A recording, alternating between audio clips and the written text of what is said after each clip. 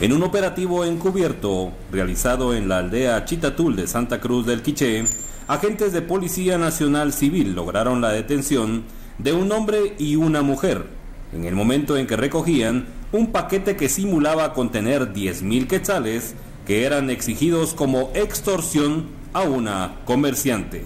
Por cual fueron detenidos el señor Federico Moreno de León de 31 años y Manuela Amper Chats, quienes este, según la denuncia pues estaban los estaban este, extorsionando por la cantidad de mil quetzales.